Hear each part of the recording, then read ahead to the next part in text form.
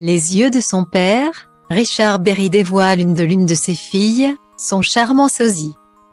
Le 29 janvier 1992, les acteurs Richard Berry et Jessica Ford ont accueilli la naissance de leur fille Joséphine. Une jeune femme désormais, que la star française, aujourd'hui époux de Pascal Louange, a célébré ce dimanche sur Instagram. Il a ainsi dévoilé une belle photo de son enfant qui a 31 ans. Dans un cadre idyllique qui ressemble fort à la baie de H, longue au Vietnam.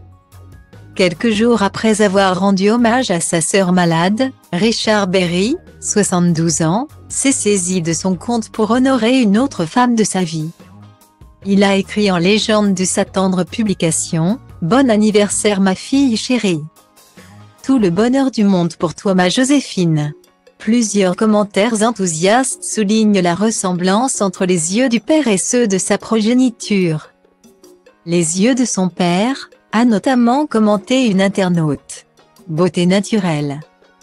Déjà si belle, ont réagi d'autres personnes suivant l'actualité de Richard Berry sur Instagram. Fille de celle qui est désormais photographe, Jessica Ford, et de Richard Berry. Joséphine a choisi de suivre la voie de la comédie. Elle a joué dans L'immortel et moi César. 10 ans à un 2, un M39 qu'a réalisé son papa et on a pu la voir plus récemment dans le cercle des illusionnistes d'Alexis Michali dans la peau de Salom pour la série de TF1. Clem.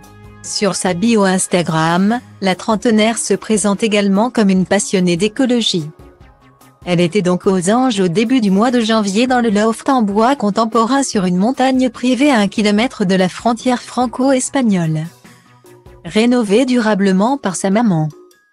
Ce bol d'air pur, Joséphine Berry le savoure, elle qui a dû faire face à une épreuve difficile en 2022.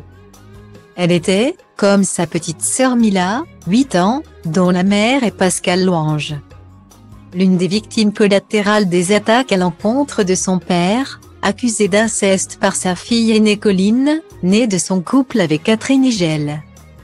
Après que le classement sans suite pour prescription de l'affaire, Joséphine Berry avait publié en décembre 2022 un long message pour manifester son soulagement face à la fin des poursuites contre son père.